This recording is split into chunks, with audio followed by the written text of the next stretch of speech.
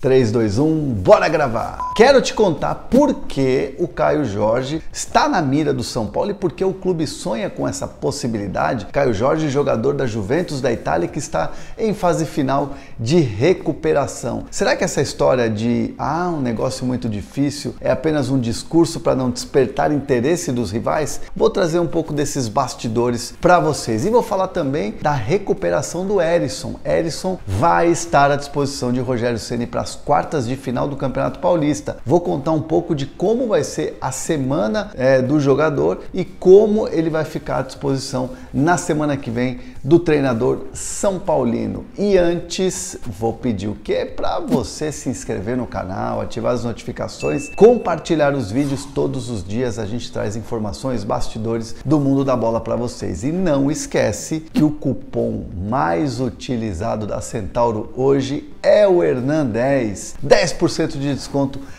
na compra dos seus produtos na vitrine da Centauri tem muita promoção legal, hein? Aproveita e usa o cupom Hernan10 da nossa parceira Centauri, beleza? Ó, ontem eu trouxe essa informação ali, né, de que o Caio Jorge entrou na mira do São Paulo, ou melhor, o São Paulo busca a contratação do Caio Jorge que está em fase final de recuperação de uma lesão grave, jogador do Juventus da Itália em 2022, quase um ano, né, fevereiro ou um mais de um ano, fevereiro de 2022, ele sofreu uma lesão grave no joelho, teve que passar por cirurgia e a recuperação já está ali bem na reta final.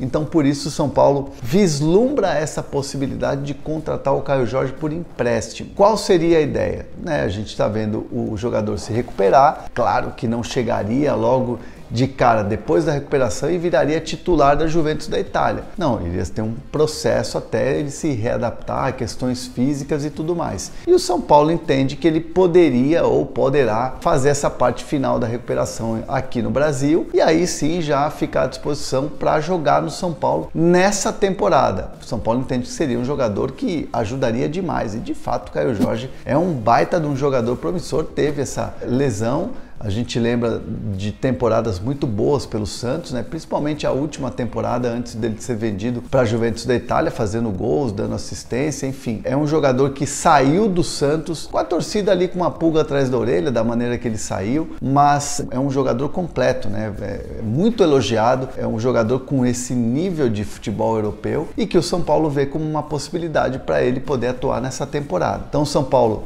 fez contatos, sondou né? E o São Paulo vislumbra assim um empréstimo até o final da temporada com uma opção é, de pagar partes do salário, né? O São Paulo arcaria com parte do salário. Esse seria o modelo até para o jogador poder se desenvolver, jogar e tudo mais, algo que no Juventus da Itália não conseguiria num primeiro momento por estar tá voltando de lesão. O São Paulo seria esse clube que daria ao, ao Caio Jorge essa possibilidade dele retomar essa condição física, essa condição técnica dentro do campo, a Juventus da Itália teria essa possibilidade com o São Paulo para ele voltar a ser aquele Caio Jorge que chegou cheio de expectativa no primeiro momento no clube italiano. Então, o São Paulo vislumbrando essa possibilidade, sabendo que é um negócio muito difícil, que teria que convencer a Juventus da Itália, e aí nisso entra a participação de quem gere a carreira hoje do, do Caio Jorge, ajudando ali, enfim, o São Paulo costurando essa ideia com a Juventus da Itália é algo que o São Paulo entende que poderá andar, pode acontecer,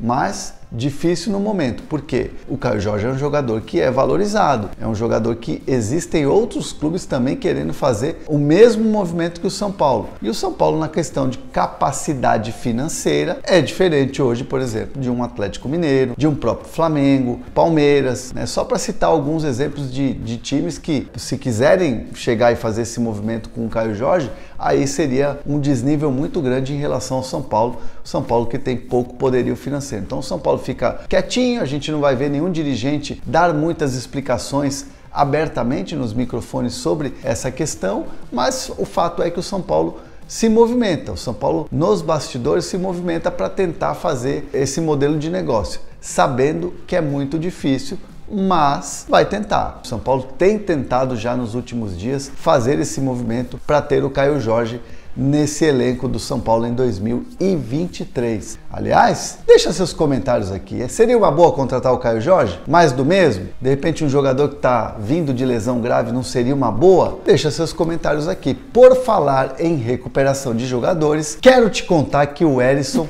vai reforçar o São Paulo nas quartas de final do Campeonato Paulista. O jogador veio de uma lesão muscular, jogador que acabou de ser contratado também por empréstimo junto ao Botafogo, teve aí essa, essa lesão que vai atrapalhar. A única dúvida internamente que o São Paulo tem em relação ao Erisson, né, a escalar ou não nesse jogo decisivo, já nessa é, quartas de final da, do, do, Campeonato Paulista, uma boa estreia, logo depois teve uma lesão e aí está num período de alguns jogos sem poder ser escalado pelo Rogério Ceni. O calendário do Erisson até ficar pronto às quartas de final vai ser até o final dessa semana, transição, né, que é aquela coisa de você sair da parte interna da, do, do, do CT e já começar a ir para o campo, né, aquela transição para o campo, e no máximo até terça-feira que vem ser entregue à comissão técnica do Rogério Ceni para poder ser liberado, para poder treinar. E aí você tem de terça até o final da semana um tempo para você poder testar o jogador para ver se ele está bem fisicamente ou não. E aí o Rogério decide se vai escalar o jogador no time titular.